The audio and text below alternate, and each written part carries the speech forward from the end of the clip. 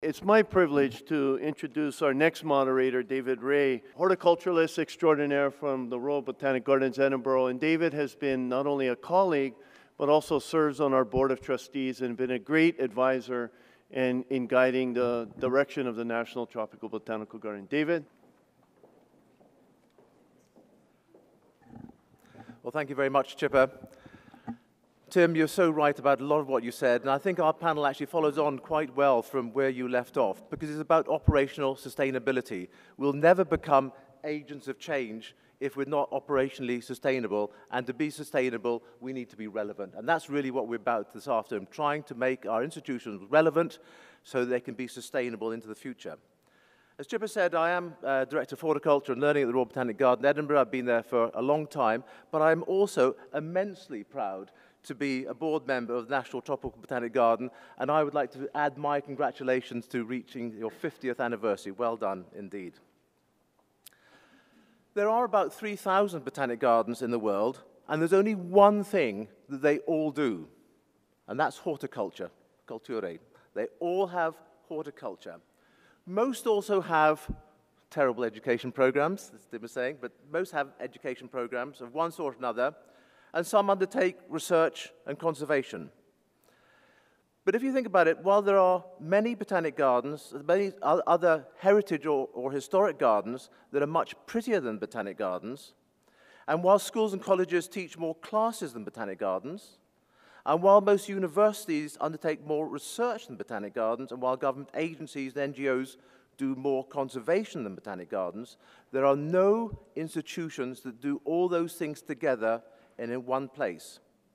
But for those that do, it's a unique and winning formula that I think is really, really needed and can work well if the, all those sums come together and are mutually supportive. The National Tropical Botanic Garden does all those things together. They have wonderful facilities. They've got an exceptionally enthusiastic and talented staff, managed by a dedicated team of leaders and supported by the most incredibly loyal and generous uh, trustees. Botanic gardens, you might be surprised, are being created now faster than at any other time in history, while established botanic gardens are adapting their missions to meet new challenges. But that's not universally true, far from it. Many botanic gardens are struggling financially or failing to connect with audiences, meaning that some are finding it difficult to remain operationally sustainable. But botanic gardens are needed now more than ever, not just for research and, and conservation, vital those they are, but also for engaging with the public to explain the issues of our time, such as climate change and biodiversity loss.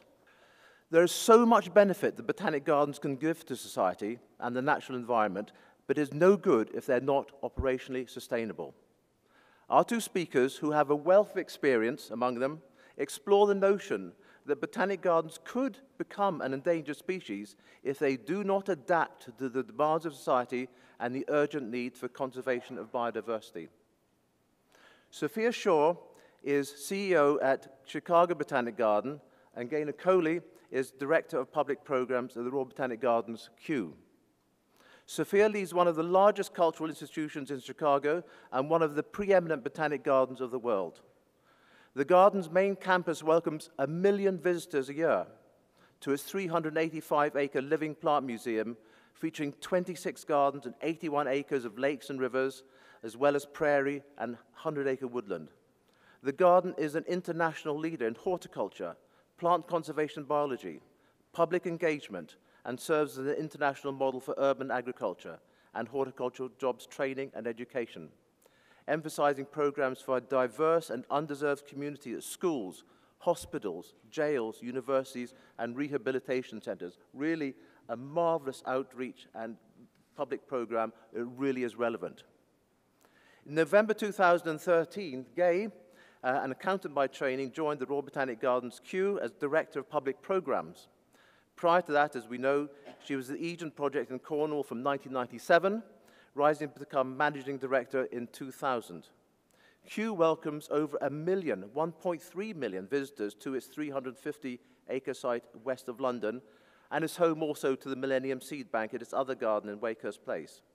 Gay is responsible for managing the visitor experience and leading a team of over 200 staff across the areas of library, art and archives, content and engagement, marketing, audiences and communication, and operations and commercial activities. She is passionate about education and aims to make great science and horticulture accessible to all in exciting and inspirational ways.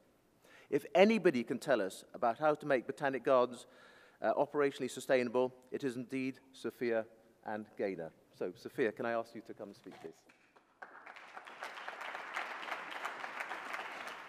As we were coming up to the podium, my seatmate said, said, Well, that's a hard act to follow. And I said, Well, in fact, I'm a Midwestern girl. I have no act at all, um, but I will try. And I know that all of you uh, will join me in accepting Tim's challenge to be brave. And I also love the words aggressively positive, because I am.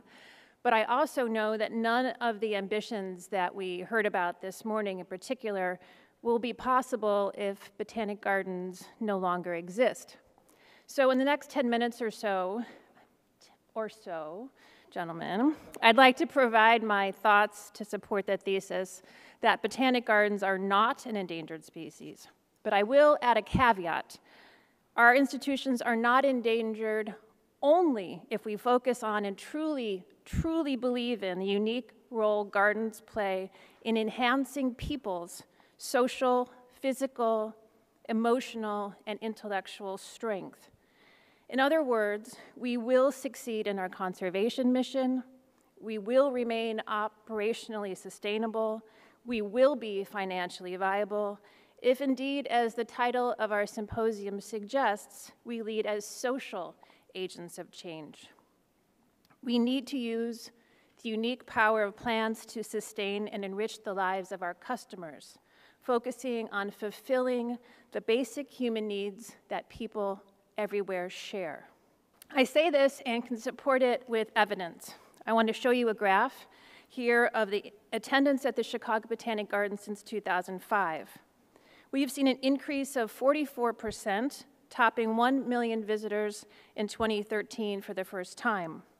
Our fundraising revenue from all sources has also increased, and we have done this without hosting a single major temporary exhibition, no chihuly, no dinosaurs, no large-scale topiaries, no live animals. We do not have a carousel. We do not have any playground equipment. We simply devote our programs and ourselves to horticultural excellence, education, science, and community programs, and our attendance in 2014 is now 5% ahead of our record breaking 2013. Among botanic gardens, our story at the Chicago Botanic Garden is not unique. But I know the statistics at other cultural institutions, art and nat natural history museums and science centers, for example, are not, at least in Chicago, anything to cheer about. So, why are we experiencing these positive trends when other institutions are experiencing declines? This increase, I believe, reflects and depends upon our ability to hone each of our garden's focus and services to address the issues and challenges of our time. Among these contemporary issues, I include anxiety about violence and climate change, economic uncertainty, and aging. Also, the challenges people face in finding consistent access to high quality science education, healthy food, and a place for safe recreation. But gardens can serve people facing these challenges. Gardens are a refuge. We provide comfort. We provide solutions in science education, food security, workforce training, wellness, and climate change. We offer solace to people facing crises and a place to celebrate joy. Gardens will remain sustainable if we see the world's greatest problems as the world's greatest opportunities to serve. Tactically, I think of it this way. We have to put our customers, whether they be our visitors, our students, donors, volunteers, employees, vendors, or partners, at the center of our plans. In the past, institutions whether they be museums, gardens, or universities, have put themselves, their institutions at the center, reaching out to diverse audiences. I think that's backwards. Don't reach out, invite people in. Put the human being, not the institution, in the center. Think about the customer. And I use this term consciously because probably as, as you did, I grew up learning that the customer is always right. If we focus on truly serving people of all ages, backgrounds, and abilities, from birth through death, we will thrive. Historically, gardens have been located in affluent, mostly white neighborhoods, or even if they are in more diverse neighborhoods, gardens have tended to serve mostly white, generally affluent people, at least in this country. So, in order to fulfill our mission and to become operationally sustainable, we must work hard to serve customers who reflect our nation's diversity and commit with all our heart to making everybody feel welcome. Making program changes to welcome and serve all people is at the core of my vision and one of the reasons I believe we've been operationally successful in Chicago. So, what can we do? This all sounds good, but what specific actions can we take? So, building off of what I just said, I'm going to quickly share 10 examples of changes, small and big, that we have made in recent years that have cumulatively made a difference. My examples fit into these five categories, focusing on the customer's basic needs, emphasizing the importance of our mission, communicating the values on which we're based, taking action to celebrate the diversity of our society, working outside our garden campuses, but more importantly, bringing offsite program participants in and focusing on value. First, a year ago, the Chicago Botanic Garden adopted a new mission statement. We cultivate the power of plants to sustain and enrich life. We wrote this not only to underscore the conservation message and the importance of plants, but to include all of the people who help the garden fulfill its goals. The previous statement was descriptive yet oblique. It didn't even start with a, a real sentence. It just said to promote the enjoyment, understanding, and conservation of plants in the natural world but who was doing the promoting? Why? And for whose benefit? Yet by emphasizing four words in our new statement, we cultivate, sustain, and enrich, we change that. The words we cultivate now include everyone, from our horticulturists to our course instructors to the ex offenders in our Windy City Harvest urban agriculture programs. Sustain refers to the fact that all life, food, clean air, water, shelter, medicine, depends on plants, and Enrich gives merit to the mental benefits of our work, acknowledging the commitment of our horticultural therapists and yoga instructors, as well as emphasizing the importance of beauty, community, inspiration, joy, and comfort that gardens provide. My second example is from June 2011. High winds raged all afternoon and night. I received a call at 5 a.m. that the garden's power was out as well as the power to most of the region. The staff re recommendation was that we close for the day. And as I considered what to do, I thought of that image with the woman in the center. What did our customer need? And there began our day without electricity. We were open for the parents of children in our summer camp, for hundreds of very elderly people arriving in dozens of buses from senior centers without power, and from over 2,000 grateful other people. Third, we have about 30 members of the garden staff who speak only Spanish. You will see them located mostly up in the right hand corner of this picture, taken before we made an important change. We also have about 30 people who are comfortable speaking and reading Spanish more so than English. And we also have staff that are unable to write and read in either language. Yet we did not have a single person working in our administrative team who could communicate with this essential workforce. So I hired a human resources vice president fluent in Spanish. You can't diversify your staff or your visitors unless you can have people speak to those staff and visitors. So we can help people to stand with the group in the staff photo rather than along the periphery. Fourth, we created a superb float for the Gay Pride Parade in Chicago, attended by almost a million people cheering us on. Staff and volunteers danced and walked for two hours along the parade route. After the parade, several garden employees and volunteers made a point of saying to me that they finally felt like they belonged. Fifth, the Chicago Botanic Garden is located in an area where many families are Jewish. We have five synagogues within three miles of the garden. We were open 364 days a year. We are now open on Christmas Day and host Tu B'Shevat and Sukkot programs, recognizing the Jewish springtime planting and harvest rituals, and again, serving and welcoming everyone. Sixth, over the past 10 years, we have built one of the world's largest urban farming jobs training programs called Windy City Harvest. Our 10 farms are located at the city colleges of Chicago, within the justice system on former public housing sites, public school campuses, other neighborhood sites, and now on the rooftop of our McCormick Place Convention Center. These programs engage a wider garden family of customers from farm to fork. Seventh, and directly related to number six, most gardens and museums have community outreach programs. This is not new. But instead of just reaching out to communities, we must make sure to invite our program participants into our garden. For example, we join nonviolent ex offenders from our Windy City Harvest program with our garden campus horticulture teams. And I'm proud to show the evolution of their clothing in the past three years. No longer are they wearing the distinctive clothing that makes them look different than our staff. Students from off-site classroom programs work in our Science Center laboratories.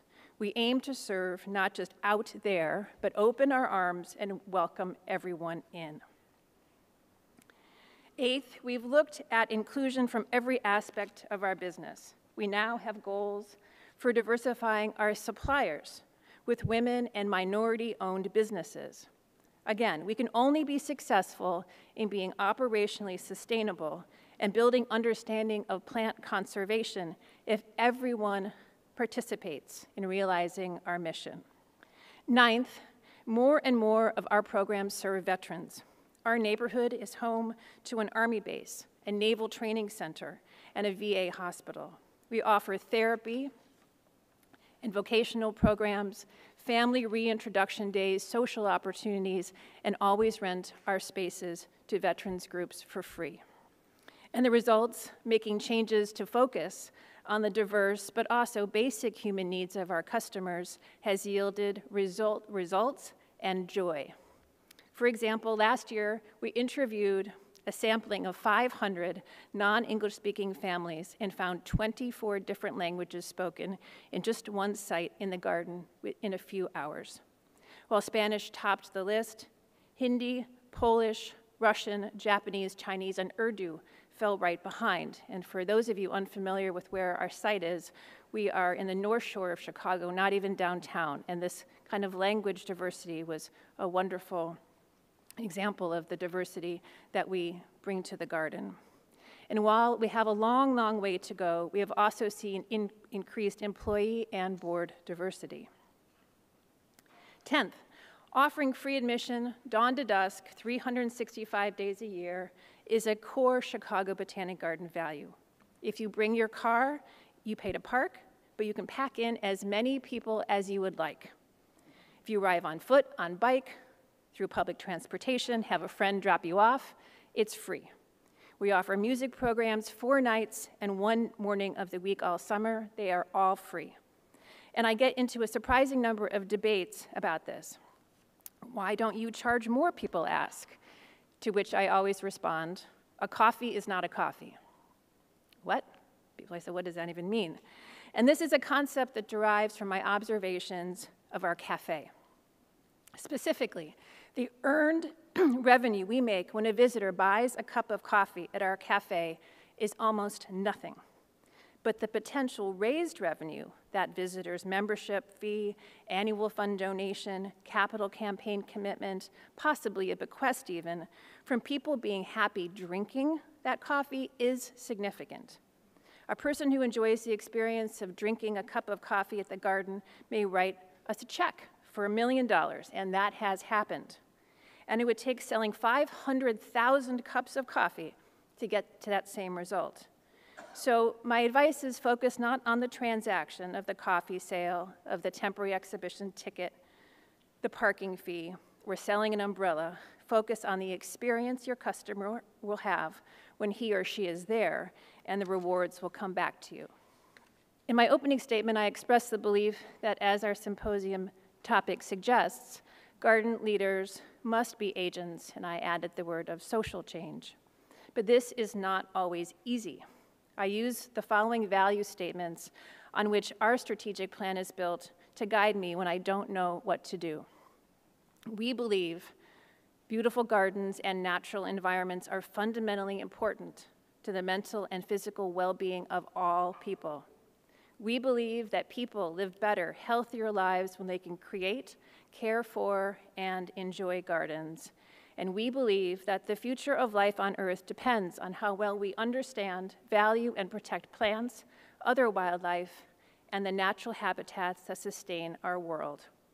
So, as leaders of gardens, the historical and present day places of joy, healing, comfort, sustenance, education, and science, it is so important to our future viability that we, one, know what we believe, two, take on a social role, and three, make changes, big and small, that can create a big difference to those we serve and who serve us. Sometimes making changes, leading bravely, or saying no to an industry trend is hard, but the results are wonderful. The effect that we will have on people will secure our garden's operational sustainability, progress our conservation goals, and transform our lives while it transforms those around us. Thank you.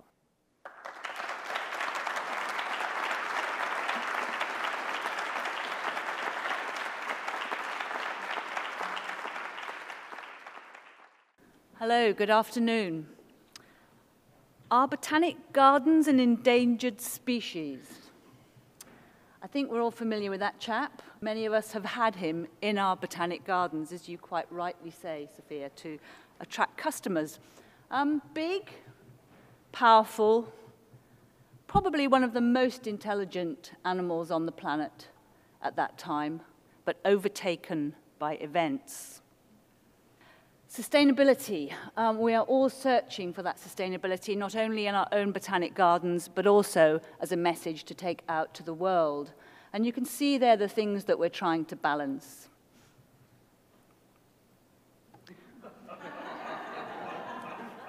That's a different take on the subject.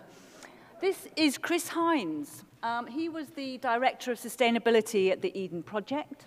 Um, and he felt that in order to get all staff, every single member of staff, to get engaged with sustainability, it had to be personal, it had to be funny, and it had to be relevant. But let's back up a bit. So that's what Eden looks like now. Where is it? It's in that pointy end right out in the west of England. And Andy's already touched on the fact that actually, taken as a country alone, when we were looking to build Eden, it would have been the second poorest country in Europe. So those beautiful landscapes actually disguise a really endemic poverty, a lack of opportunity, partly because of the traditional industries eroding.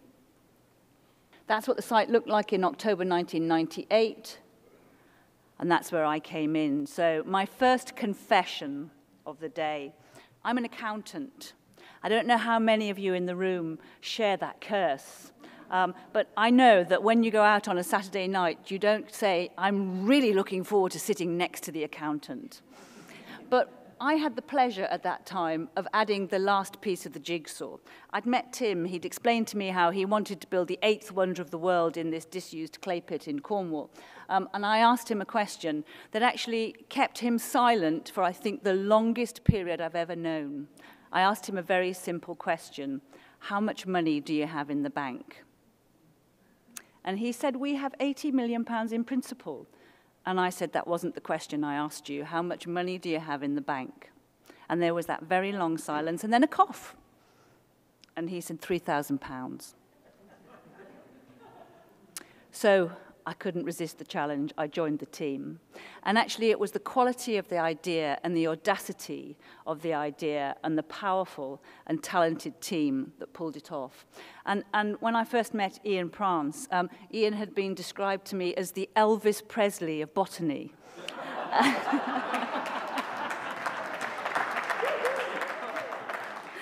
I knew at that point, how could we fail with Elvis Presley on our team?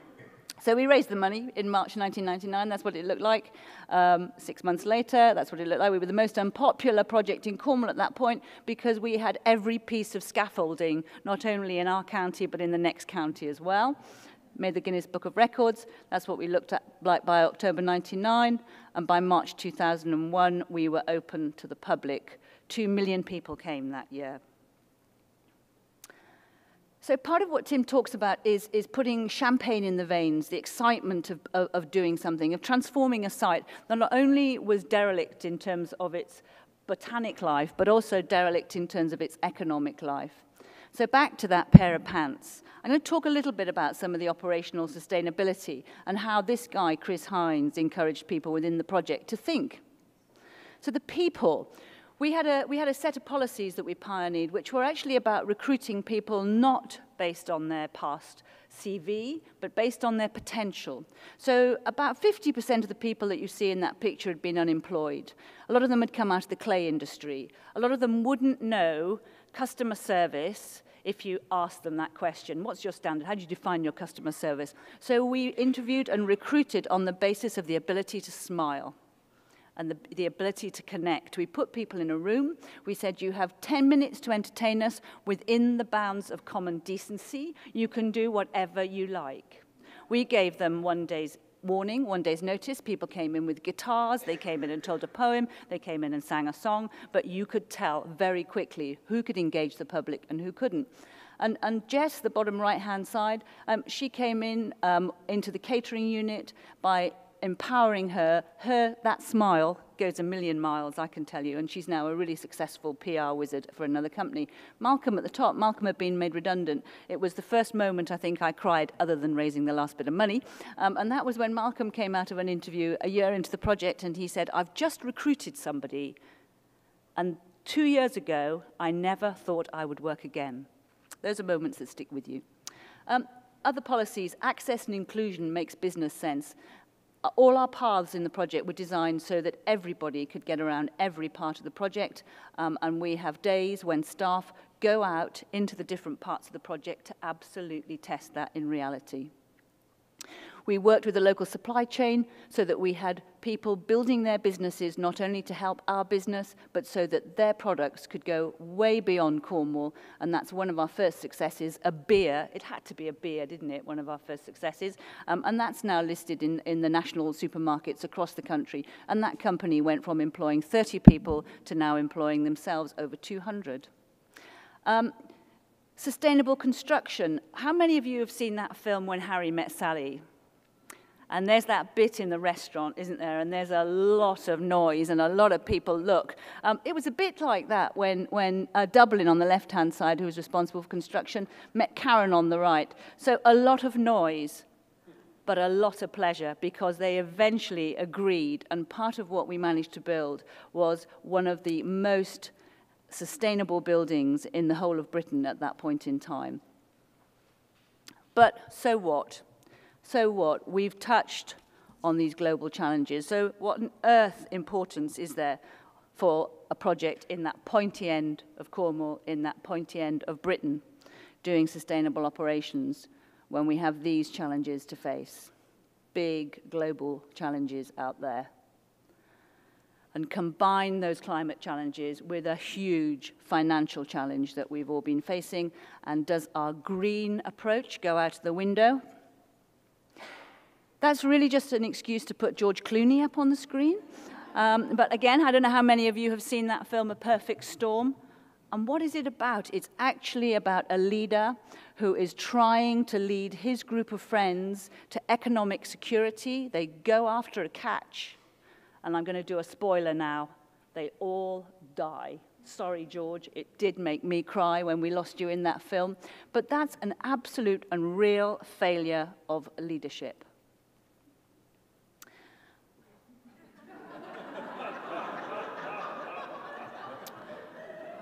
Now, I don't know about you, but I found 2006 really uncomfortable. and I would like to suggest that we get back and that we do move back towards the Bridget Jones pants.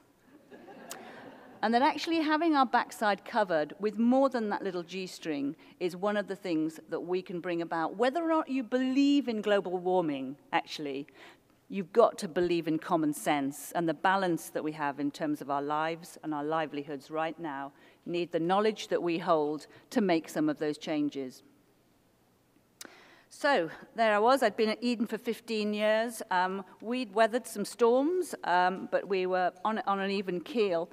And I kept thinking, I'm not quite sure we've got the right power. We have this great big engaging educational program, but somewhere in there was the science, and the science not getting out to our audiences.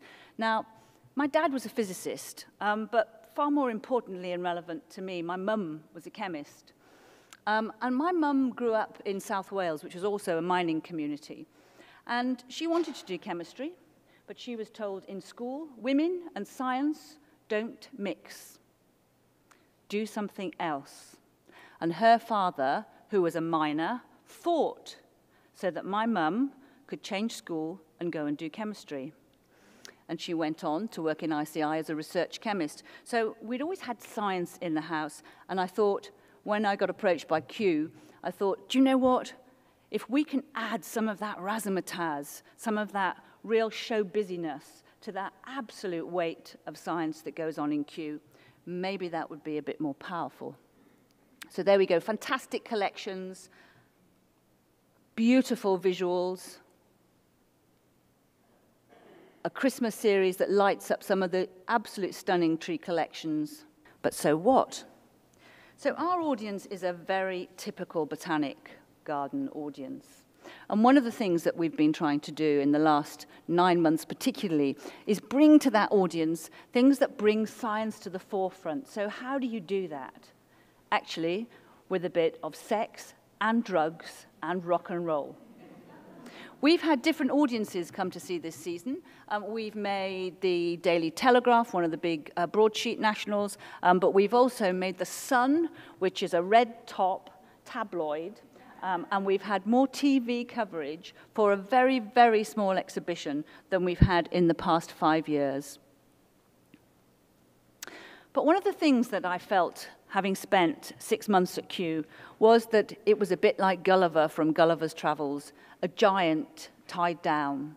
And I think one of the challenges that we all have is to actually cut those strings, whether it's small bureaucracy, whether it's fear, but to actually unleash this giant.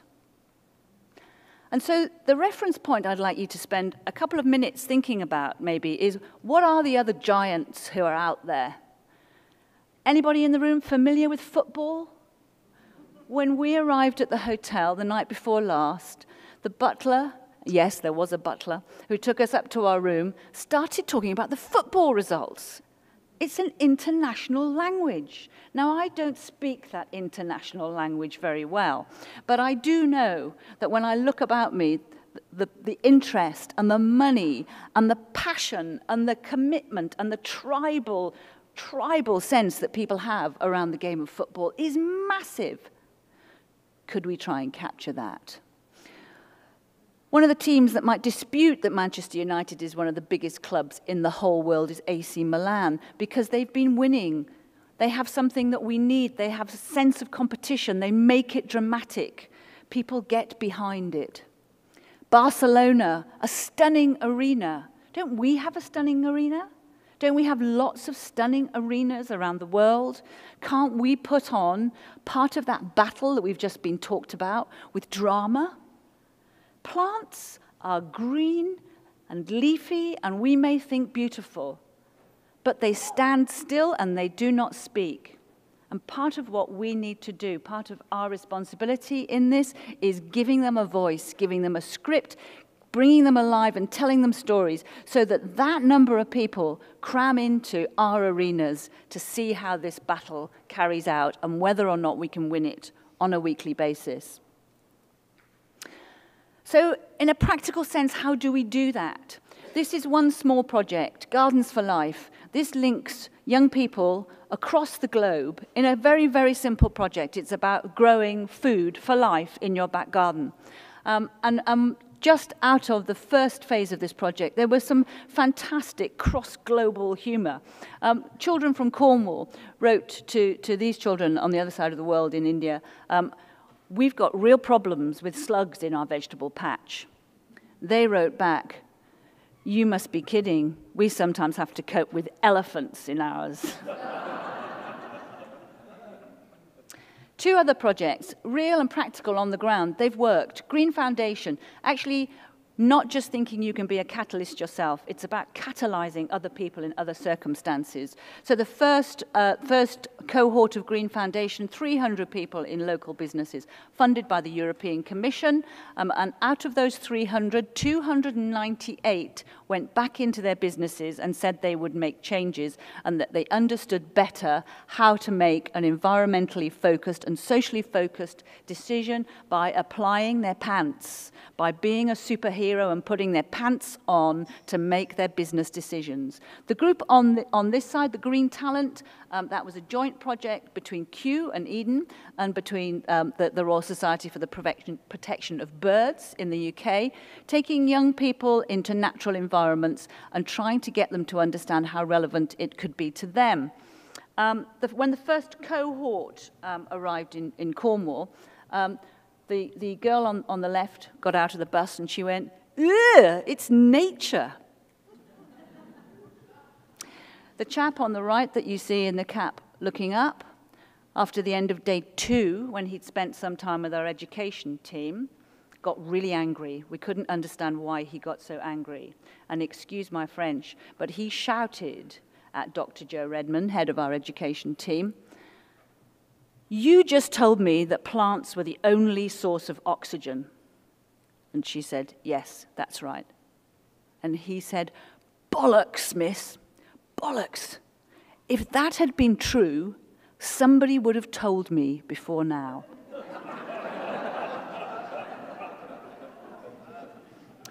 He went on, he went on, he went into uh, Rolls Royce. Um, we, we worked with local businesses and with national businesses. He went into the um, research team for, for new turbines, wind turbines, and he asked, apparently, more probing questions than that team had been asked because he came from a different context. And two of the guys in that team have agreed to mentor him. He's going back to school and he wants to do science. So that's where I'll end.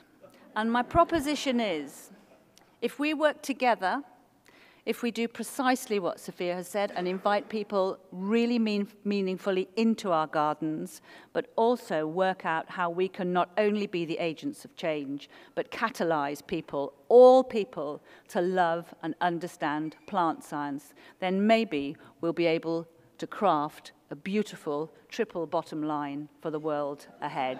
Thank you.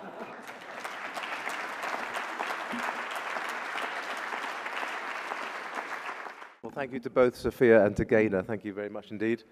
Are there any questions? Do you feel that botanic gardens sugarcoat the environmental message?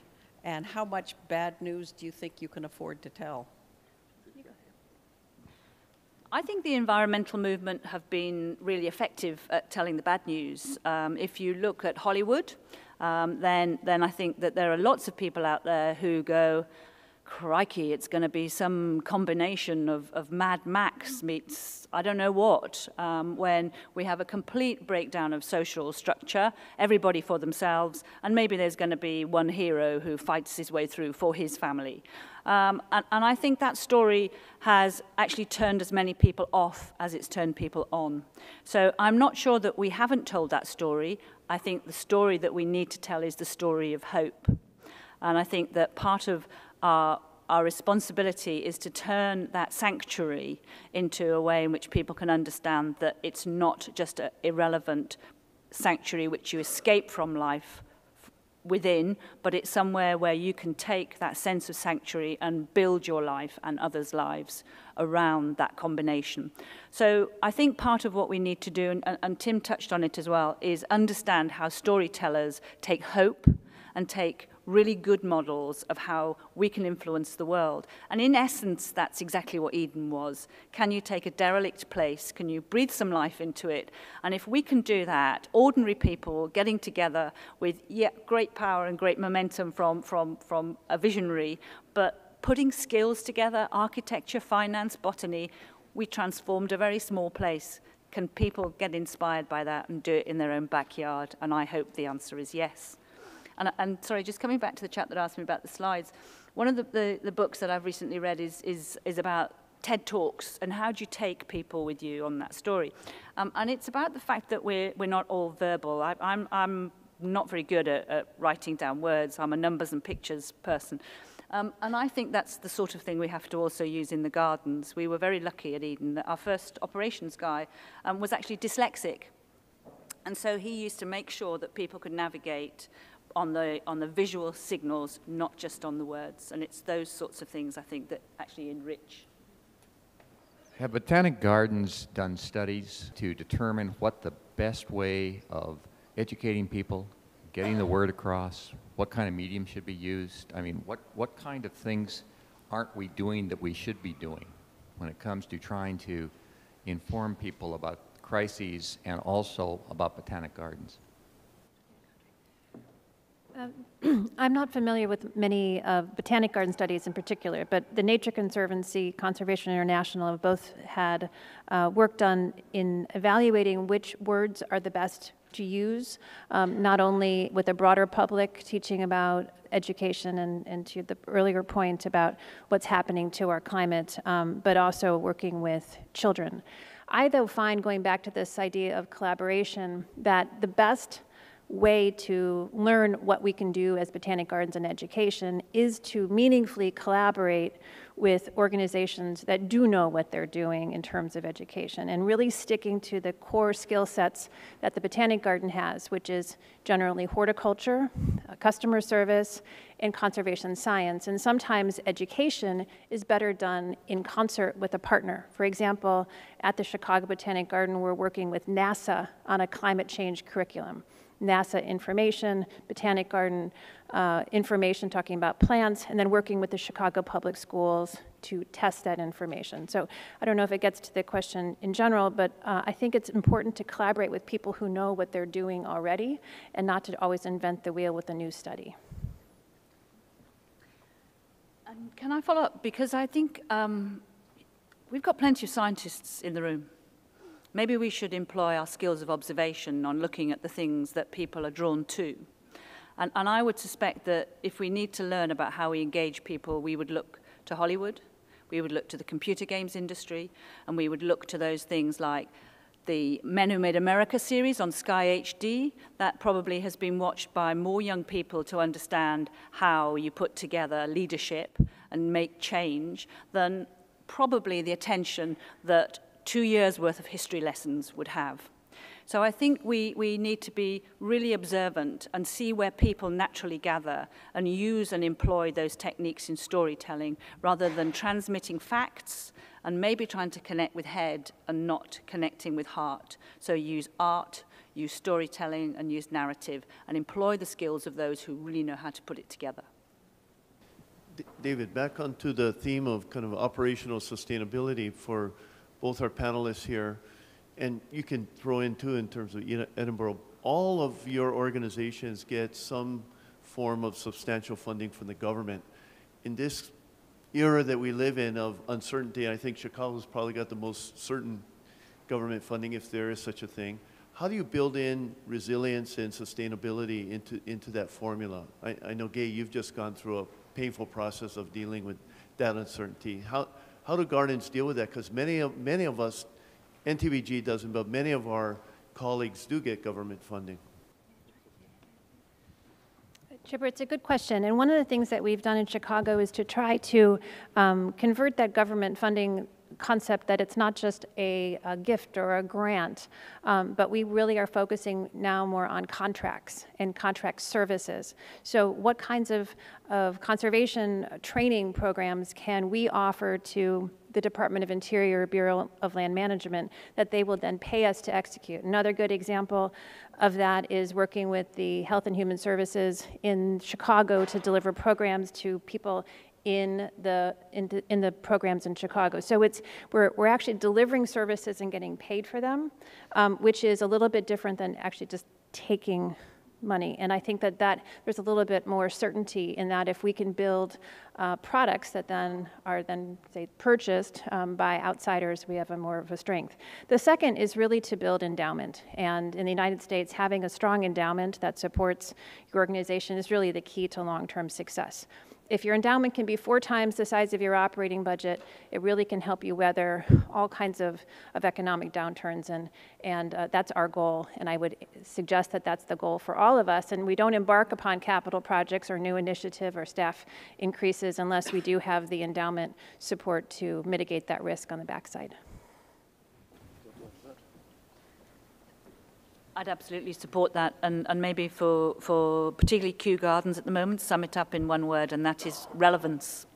Um, if we sit behind closed doors and pursue issues that are never well communicated or well understood, then we don't deserve to receive other people's money. If we can actually take our science and make it touch people and make people understand that it is vital and critical, we will get behind us, not only paying customers, but also government and also benefactors. But it's our responsibility to do that and not think that it should come to us without selling the ideas and the proposition. And I'll simply just add to that very quickly to say it's about diversity as well. We, we get uh, quite a lot of government funding, but one thing's for sure, it's not going up. It's been level pegging for a long time and it's likely to stay that forever. So proportionally, it's only going to get less. And it's about diversifying your income streams in all ways, but membership and, and we don't do so much for endowments, but the, the problem with endowments is you get told to use them or lose them. So uh, we uh, don't do that so much, but certainly trying to diversify all income streams, but by being relevant, because we're not relevant to society, like I said at the start. We've got to make botanic gardens relevant to society, and we've got to change to, to meet their needs, both for people and for plants. Uh, a lot of us have had the good fortune to visit both of your facilities uh, and, uh, and enjoyed them. Um, they're very different. And in Chicago, as you say, you're, you're purely botanical. Um, I don't want to call what you do at Eden gimmicks, but it's, it's a little on the jazzy side, as you say. And of course, we're wrestling this with the NTGB uh, with a small population base, which of course replicates what you have in Devon. Um, so, uh, do you make your uh, planning and your strategic plan based on where you are and who you think you can attract and where you're going to get, say, for example, in Chicago to the 2 million visitor mark, and, uh, and you have already been at 2 in Eden, uh, which is an area that I, I suspect if it was pure botanical wouldn't, wouldn't reach those numbers. So how do you, how do you make this kind of uh, balance in planning? I'll start. Um, we build our strategic plan on the core values we want to communicate. And I think I, I, my background has been on exhibitions and education at the Field Museum and, and in other museums. I think I spent so long putting together exhibitions uh, at, at other organizations that were always focused on what is that, uh, that temporary exhibition that's going to drive the attendance, or what do people want to see, that we became so focused in those other contexts on bringing people in and creating our strategic plans based on operational goals, attendance goals, as opposed to our values. And so at the garden, um, when I came on about seven years ago, we decided that we would base our strategic plan on what we believed and what we wanted to share and what we wanted to be, um, and then hope. And I and I, I know that's probably not the for-profit world would say that that's that's probably not an intelligent uh, plan, but hope that uh, that the results would follow. So I don't know if it gets to your question exactly, but I see that by by being inspired uh, and being uh, passionate and aggressive about having uh, communicating what we believe in the other parts follow as opposed to focusing on what we want the end result is in terms of people coming and, and kind of backing into what we believe backing in I keeps looking at that. Yep, and, and I guess the only thing I would add is, is a, a belief that, that is that's slightly complementary to that, which is believing that science is interesting.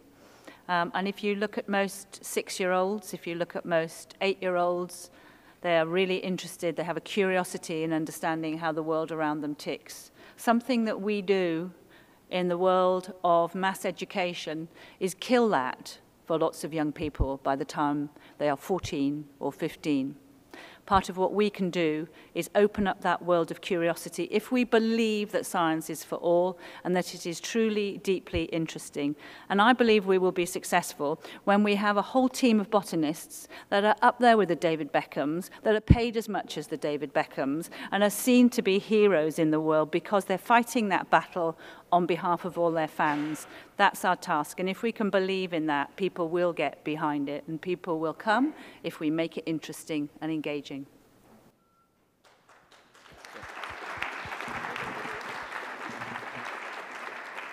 That's been a great discussion. I'd like to thank uh, both our panelists, Sophia and Gaynor. Thank you very much.